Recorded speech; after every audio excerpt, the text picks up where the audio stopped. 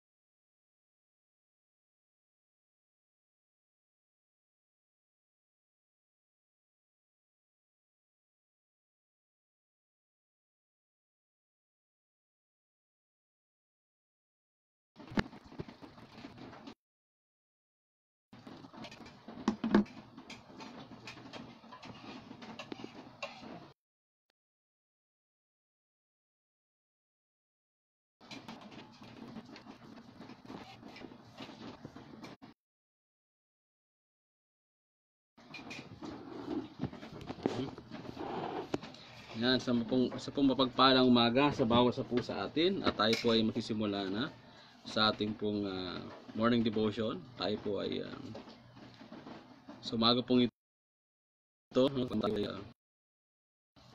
uh, pong pinagdadaanan pero napakabuti po ng Diyos. Amen. At muna tayo manalangin, humingi tayo ng pasalamat sa ating Panginoon na siya po ay mabuti sa ating mga buhay.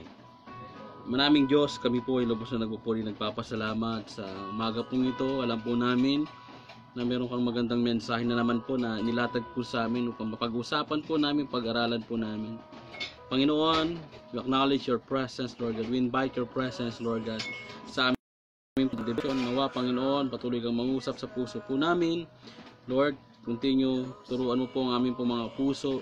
Basagin mo po kami. Ikaw po yung maghari sa aming mga buhay. And let the Holy Spirit continue to speak in our hearts today. Salamat po sa lahat po ng nanonood at manonood pa, Panginoon. Continue, Lord, transform our lives, Lord. Save us, Lord God. Patuloy po na maranasan po namin yung dakila mong kapangyarihan sa umaga pong ito, Panginoon, hanggang sa buong araw. Salamat po muli. Sa iyo po ang papurit pagsamba. Amen and Amen.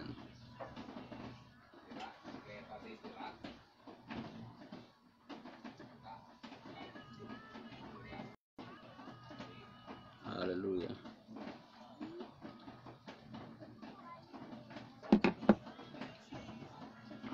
Sige po, tayo po magsimula na sa Word of God. Salamat po sa isang nanonood. No? Please comment below if, if you're watching po. Hallelujah.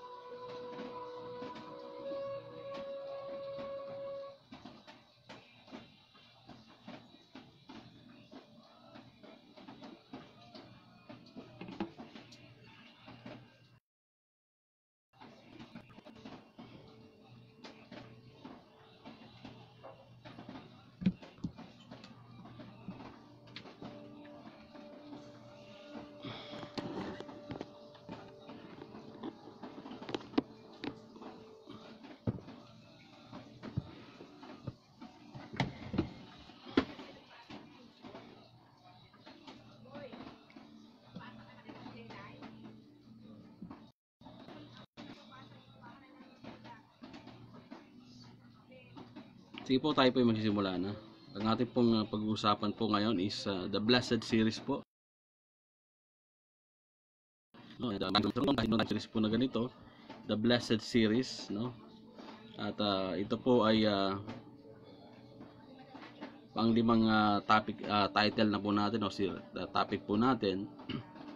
At uh, sabi po sa Bible, blessed are the poor, poor in the spirit. No, sa Matthew chapter 5 verse 7 po yung pinaka text po natin ngayon. Matthew chapter 5 verse 7. No, basahin ko lamang po yung 3, 4, 5 and 6. Blessed are the poor in the spirit, o poor in spirit, for their kingdom of heaven. Blessed are those who mourn, for they will be comforted. Blessed are for in heaven. And uh, blessed are those who hunger and thirst for righteousness, for they will be filled. And today,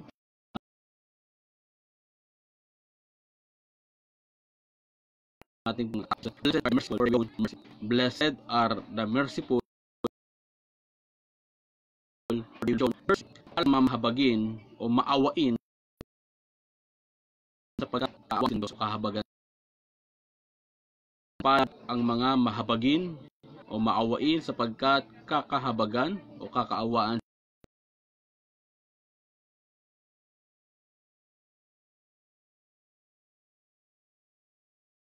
sila.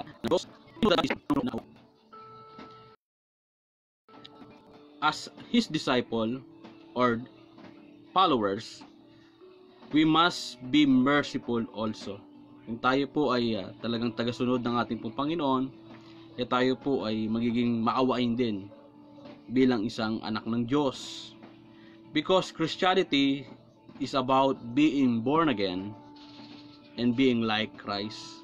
Ang tayo po ay niligtas ng Panginoon sa pamamagitan ng kanya pong himala sa ating pong buhay. Tandaan po natin yung pagiging uh, Christian po natin o pagiging born again po natin it's not about us no? It's not about our works or good works. Wala, ta po, wala po tayong naiambag upang tayo po ay maligtas doon po sa sa apoy ng impyerno kundi ang Panginoong Diyos lamang po ang gumawa po nito. And pangalawa po the main purpose or the main goal of a Christian is being like Christ. Maging katulad po ni Jesus no? Sa lahat ng kanyang magagandang character or pag-uugali or attitude isa po sa attribute ng ating pong Panginoon character ng Panginoon is is being merciful no? And we have two questions right now to be answered. Number one what is the meaning of the word mercy? Ano ba ibig sabihin ng awa? O maging maawain? And then pangalawa How can I be merciful person? Paano ba ako magiging merciful person? Maawaing tao. Kasi nowadays talagang wala na pong awa. No mercy na po. Yung mga tao po ngayon talagang bahala na. Hindi maipakita yung pag-ibig, yung pag uh, yung hawa sa kapwa. No? Kaya nawawala na po yung essence po ng uh, ng mundo po ngayon, nagiging magulo na ho because of this uh, negativism o negative attitude na meron po ang bawat mga tao sa buong mundo, sa bansa po natin, and even in the community and inside the family, there's a lot of uh, negative issues. No, in, not only in the physical realm, kundi in the spiritual realm na kinaharap po natin.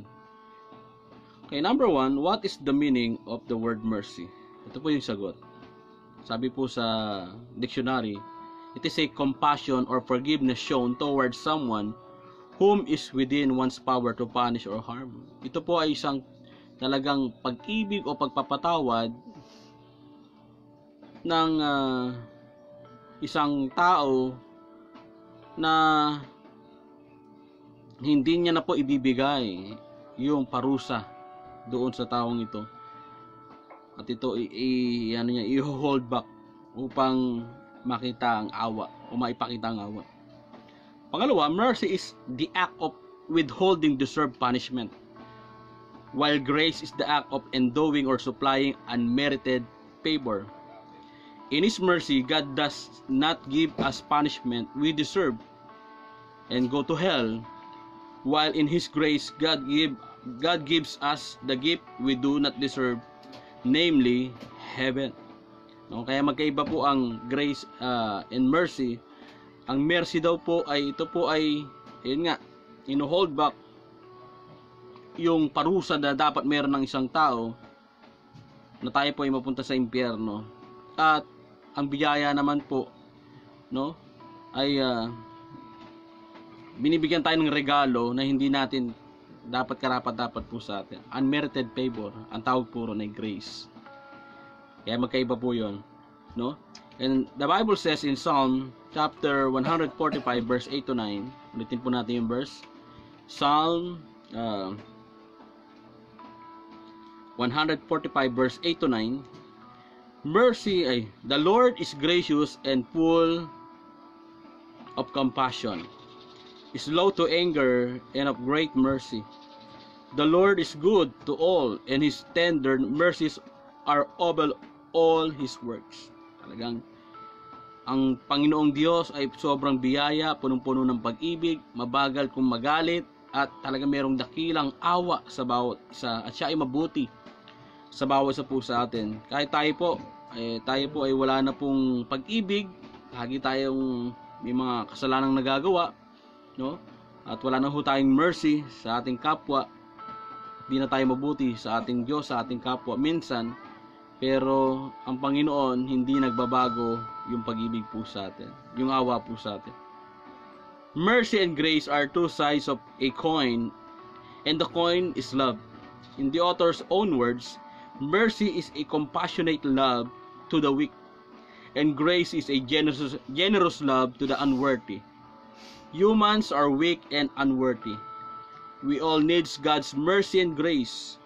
Mercy takes us the path of forgiveness, while grace leads us to reconciliation. No?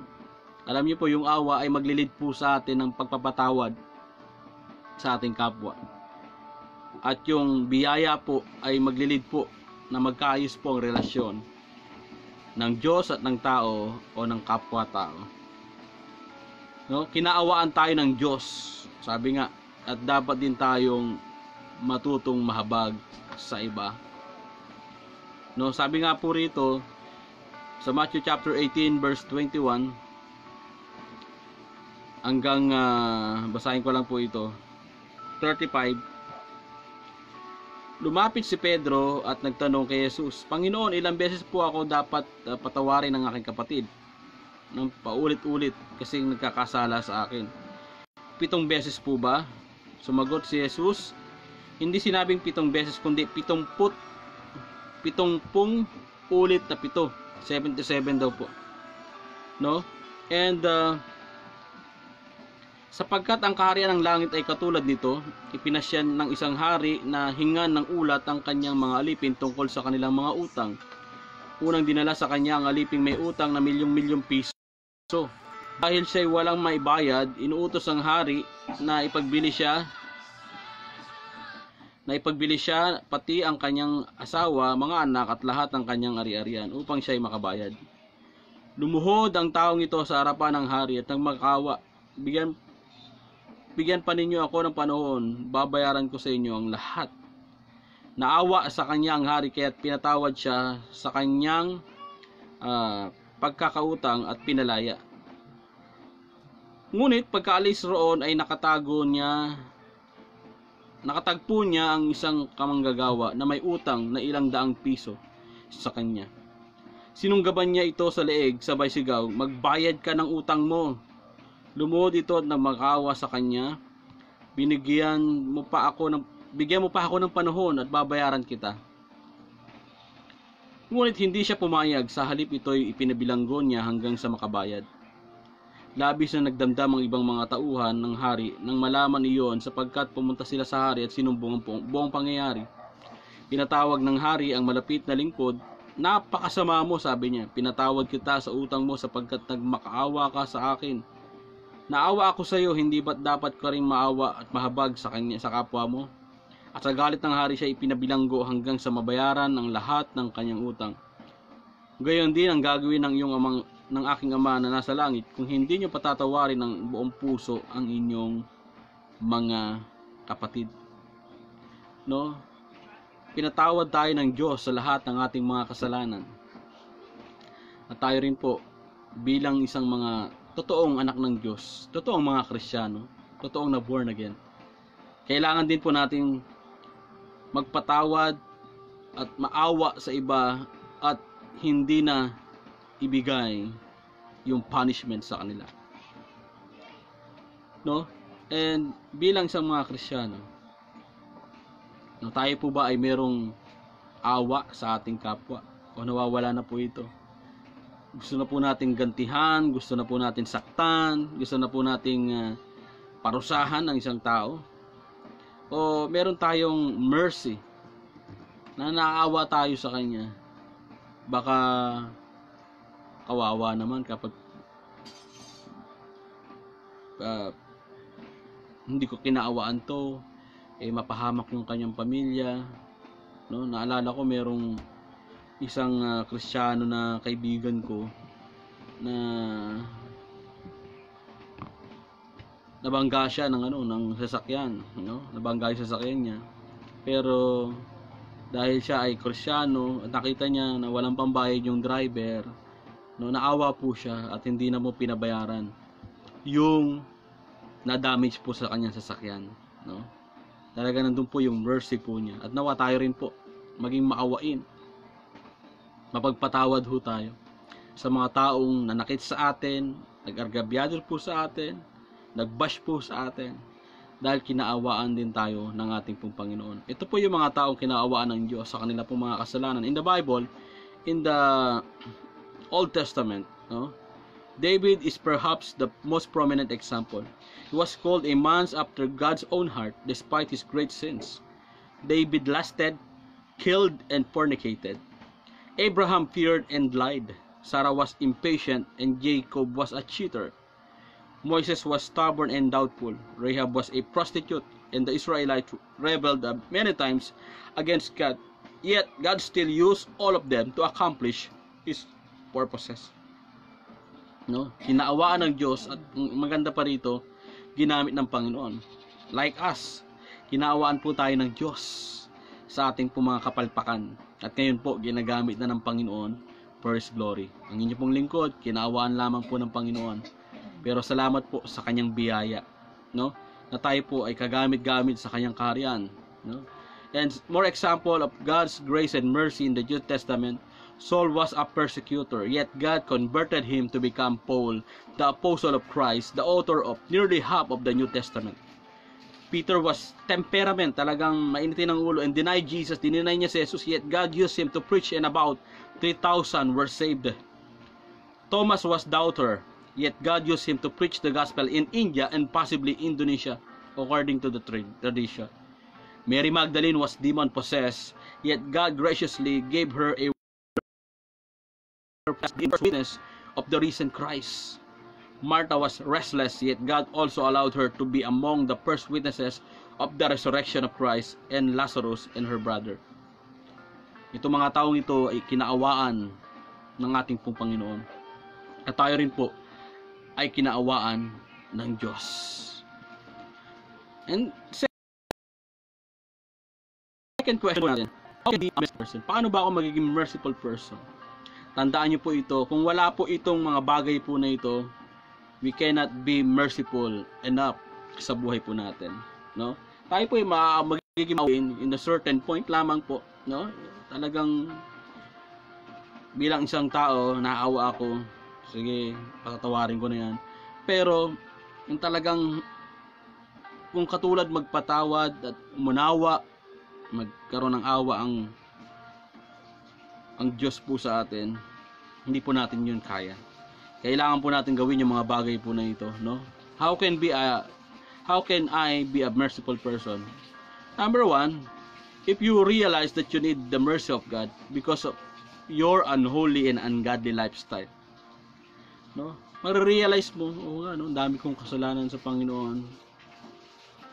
And um, sinungaling ako, nagsusugal ako, nagmumura ako, Chismoso ko, chismosa ako. Meron akong bisyo, adik ako. Nanonood ako ng pornography. Meron akong karelasyon na mali. Di maganda, di maayos. At marami pang ba. Kailangan ko ang awa ng Panginoon. Kailangan ko lumapit sa Kanya. I need God. I need His mercy. Awa, if you repent of your sins. Kapag ikaw ay nagsisi sa lahat ng iyong kasalanan. In the past and the present sins. In big or small sins. Intentional or unintentional sins. Hide or secret sins or sin sins. Kailangan po nating humingi ng tawad. At maraming salamat sa Diyos. Maawain po siya at patatawarin tayo sa lahat ng ating mga kasalanan. Letter C. If you receive Christ in your life, uh, you say it with your heart and mouth that Jesus Christ is your Lord and Savior of your life. No, kapag tinanggap mo si Jesus ang totoo at seryoso at walang halong biro ang ating Panginoong Isus, sigurado matututo kang maging maawain sa iyong kapwa. Especially, mararanasan mo yung awa at habag sa iyo ng Panginoon. No? At ang tatlong bagay po na yan, kapag ka ginawa po natin yan, sigurado po, natanggap po natin ang awa ng Diyos. Meron tayong ibibigay na awa sa ating pong kapwa. No? Hindi po natin mga ibibigay kundi may bibigay po natin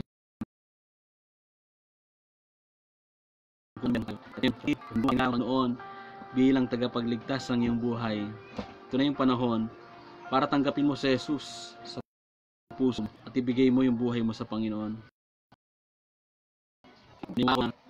Kailangan mo yung awa ng Diyos sa iyong buhay. Kailangan mong tanggapin si Jesus bilang Panginoon at tagapagligtas ng iyong buhay. Sa pagkakataong ito, sabi ng Bible, gayon na lamang ang pag-ibig ng Diyos sa sanlibutan kaya binigay niya ang kanyang bugtong na anak. At kung sino man ang manampalataya sa kanya, hindi mapahamak kundi magkaroon ng buhay na walang hanggan.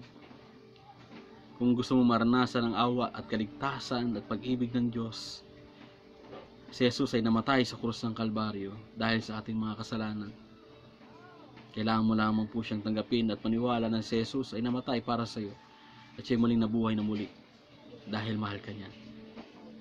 Tumalikod ka sa iyong mga kasalanan at tanggapin mo ang awa ng Diyos. Patatawarin ka niya sa lahat ng ito. At tatanggapin ka niya ng buong buo. If you want to surrender your life to Jesus, you raise your hand. In your heart, believe Christ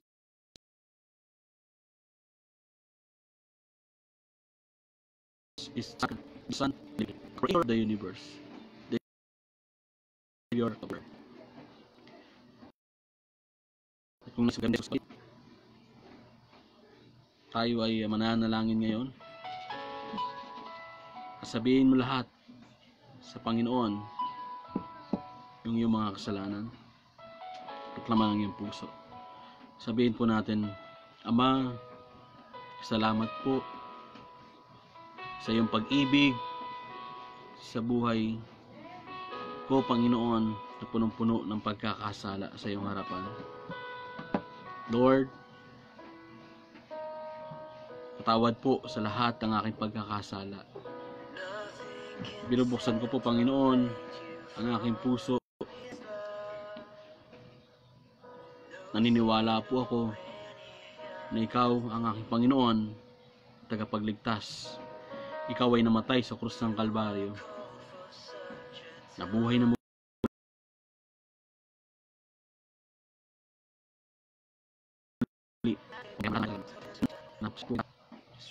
Sa aking puso, sa aking buhay, Panginoon, Diyos. Lord, salamat din Itala mo po ang aking pangalan sa aklat ng buhay. Baguhin mo po ako. Magmane ikaw po ang magmaneho ng buhay ko, Panginoon. Gamitin mo po ako, Panginoon, sa iyong karyan. Sa pangalan ni Jesus. Amen. Amen. maraming salamat po no, sa inyong pagsabay sa panalangin. If you are serious enough to accept God in your life, no, please comment below or PM me. Congratulations. Kung manalik na nampalataya sa Kanya, ibinigyan niya ang karapatang maging anak ng Diyos. And today, I want to pray with you. Uh, I want to pray for you. Panalangin po natin muli na ang Panginoon ay maawa po sa atin. Kahabagan niya ang buong mundo. Kahabagan niya. Maawa niya ang Pilipinas. Ang bawat lungsod, bayan, probinsya, ang bawat komunidad, ang bawat pamilya, ang, bat- ang bawat individual. Manaming Diyos, maraming salamat sa aming pong natutunan sa araw po na ito. Lord, pinagkakatiwala po namin ang buong araw na ito, Panginoon, sa aming pong natutunan about being merciful. Lord, with your mercy so that we can be merciful also.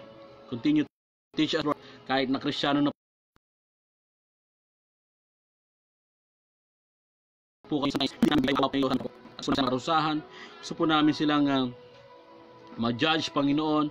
Sinasabi po namin sa kanila na sila sumpain, sila po ay maparusahan at mapunta sa impyerno. Pero dapat ang sabihin po namin ang pag-ibig at biyaya at pagpapatawad at pagpapala at walang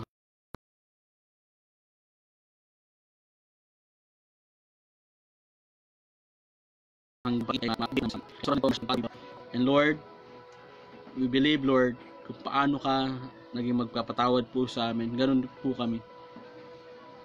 Pagpatawad sa ibang tao. Lord, salamat po. I, I continue pray, Lord, for this moment. Uh, ikaw po yung mag-bless sa lahat po ng nanonood po ngayon. I do believe in my heart. Greater things has yet to come sa kanila pong mga buhay, sa kanilang mga pamilya, sa kanilang walang sawang panonood po ng morning devotion po na ito. Lord, salamat po, Panginoon. Bless their families also. I pray Lord, sa lahat po na meron pong sakit at karamdaman, even in the COVID-19, meron pong sakit sa puso, sa baga, sa atay, Panginoon, dinadialysis, meron pong sakit sa kidney. Lord, meron pong sakit sa brain, meron pong tumor sa, sa brain, Lord God. Meron pong uh, naoperahan hanggang ngayon, di pa rin okay, Lord. Lord, we continue pray for MM, continue heal him, Lord God, in the name of Jesus. Salamat po, Panginoon. Alisin mo po yung bagabag sa puso ng Ching family. We continue declare the 12 operation, nagtagumpay po ito. Patuloy ka magtatagumpay sa kanilang pamilya. Lord, maraming salamat din po. I continue pray, Lord, kay Liz de Cruz. Continue, heal her. Lord, give her a new kidney in the name of Jesus. Maghimala ka sa kanyang buhay. Lord, maasa po kami sa iyong dakilang kapangyarihan na ikaw po ang siyang nagpapagaling. Palakasin mo po ang kanilang loob at pananampalataya na si Jesus lamang ang tanging magpapagaling po sa kanila. At instrumento lamang po ang mga gamot. Patuloy na pagpalain po ang Cross family. Lord, maraming salamat. I continue pray also kay Ferdy Valderrama sa kanya pong pagkikimotherapy. Salamat po. Patuloy mo po siyang binibigyan ng magandang pakiramdam, magandang kalusugan. Ang panalangin ko lamang po, Lord, 100% healing ay kanyang maranasan. Pagpalain mo rin po ang kanyang pamilya. Lord, maraming salamat. I continue pray kay Jomar, uh, Mangada. Pagpalain mo po siya sa kanyang karamdaman. I declare I in Jesus name. Salamat po sa iyong healing sa kanyang buhay. Pagpalain mo po ang mga daba Salamat po, I continue pray for Armada Marvin, Panginoon. Namin pong kaibigan leader, Lord God.